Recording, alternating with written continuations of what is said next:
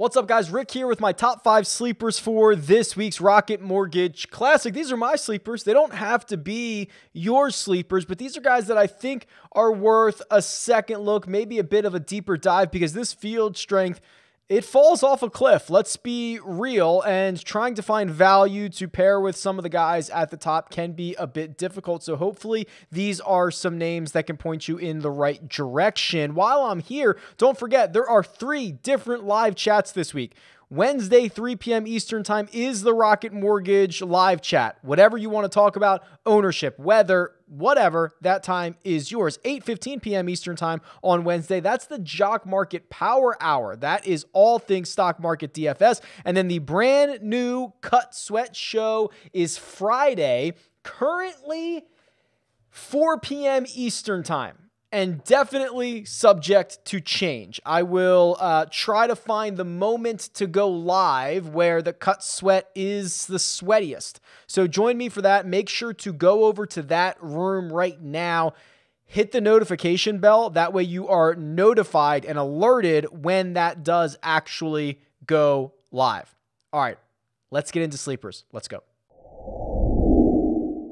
Let's start with Harold Varner III. He's $7,800 on DraftKings. He is 80 to 1 to win this golf tournament. And we don't have to go far back to find a good week for Harold Varner III. Even though he finished 47th last week of the Travelers Championship, he gained 6.87 strokes on approach. It was the best mark in the field. And strokes gained approach is not only every single week an important stat, but it is one of the stickier stats, meaning that um, if you pl- if you have a, a, good number in that category one week, you're likely to have it the following week. The follow it's it's slower to turn, unlike strokes gained putting, for example. And it would be easy to say, hey, HV3 gained 6.8 strokes on approach. It's probably not going to happen again.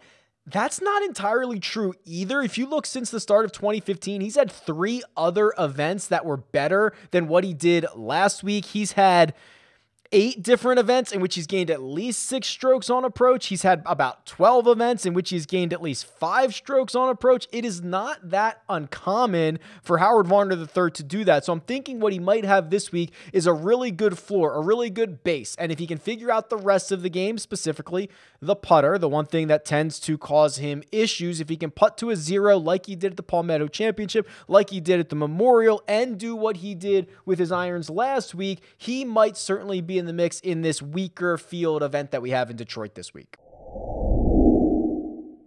Cam Davis is up next. He is $7,200. He's 125 to 1. And I spoke a lot about him in the DFS preview, so I don't think I have to spend too much time here, but if there was a golf course that I could create for Cam Davis, it would probably look a lot like Detroit Golf Club, the North Course. That's where we're playing this week.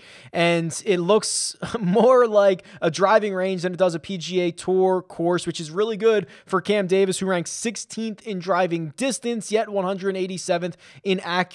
And when you aren't penalized around Detroit Golf Club for being inaccurate off the tee, being able to hit it far is a huge advantage. And then you look at kind of the rest of his game, and he's actually probably better in some of these areas than you would expect. He's 63rd in strokes gained approach uh, on tour. He's about 22nd in this field. He makes a lot of eagles. He makes enough birdies. I mean, I just I just think that there is probably not a better spot to roll him out. Now he might uh, he might whiff and, and burn us all, but this is literally if I could go out and design a course for Cam Davis, it would look just like this. Hank Lebioda is $7,200 and 125 to 1 to win this event. And he's starting to feel a bit like the flavor of the month, but I don't think that that's unwarranted. You know, when we went through that stretch of, of Vincent Whaley, now we're going through the stretch stretch of Hank Lebioda, and for good reason. He has he has made the cut in five consecutive events. Three of those results have been top 17 finishes, and his most recent start, the Travelers, is a fifth place finish. Now, I'm not nearly as bullish on Lebioda longer term or kind of in this weird little stretch of golf that he's in, that he's playing well, but this week, I feel a little bit differently. You know, he relies on the putter too much for my liking. You know, in his last five starts, he's gained two, he's gained three, he's gained five twice. Um, that to me is a little bit concerning, but if there was any place that I would be less concerned about it, it would be this one because you're going to need to be able to drain a ton of putts, make a ton of birdies to have a chance to win or have a chance to finish on the first page of the leaderboard. So I, I think this might be the last week of that Hank Lebioda stretch. I think you have one last chance to get him before he inevitably is going to miss a cut. He is going to burn us all. His ownership seems to be flying up the charts. Uh, I, I think this is probably our last gasp for Hank Lebioda. Patrick Rodgers is 6,900 and 125 to 1 to win this golf tournament. And I might be a sucker here. I might be a sucker for Patrick Rodgers, whose ownership has not cracked 5% in any event since the Corales Punta Cana Resort and Club Championship. That was in March. He also cracked it at the Puerto Rico Open. And I think for good reason in those events, because what plays well at resort courses kind of also plays well here at the Detroit Golf Club. That is the ability to drive the ball, and it is the ability to putt the ball. Those two things, because you have to make a lot of birdies. Driving distance. Patrick Rodgers is 28th on tour. He's 58th in strokes gained off the tee. So what does that tell you? Very inaccurate with the driver. 194th. But again, not as big of a deal this week. Strokes gained putting, while he's actually having uh, one of the worst putting seasons uh, in the last four years, he's still a small gainer in that category, and he can be volatile in a good way. You look at his ability to make birdies, not great. 121st on tour, but much better than that in this field. I just think there is a rare opportunity to get a golfer who can do driving and putting. That's what Bryson can do, driving and putting. Now, please, I am not comparing Patrick Rodgers to Bryson DeChambeau in any stretch of the imagination. It's just a very rare combination of skill sets on the PGA Tour. And when you get them and you go to a course that should reward those things, in theory, this might be a good spot for him. I've got very little hope uh, realistically, but this is probably one of the better places he could play.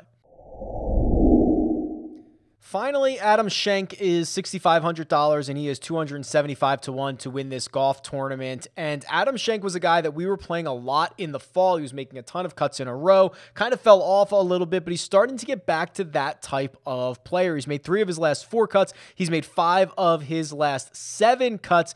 And you're looking for someone down in that bottom range who has the ability to be paired with someone like a Bryson DeChambeau. And the $6,500 price tag on Schenk is is really inspiring. He's 70th on tour in strokes gained off the tee. He's 86th in distance. He's actually quite accurate for how far he hits it when you compare him to the rest of this field. So he's gaining strokes off the tee. I just think that um, there's a little bit, there, there is not a, a real good option in the $6,000 range this week. We've, we've seen that in weeks past. It's been Lebioda, it's been um, Vince Whaley at times. There's not that golfer this week. And I think Schenk, at least offers some of the safer outcomes for someone who only costs $6,500 that you can then use to kind of pry some of those bigger name players into the field. So I think he's more valuable in this field because of how weak it is and the way that the pricing shakes out. And he is certainly not going to cross anything near uh, 5% ownership. He has not cracked that since Punta Cana. So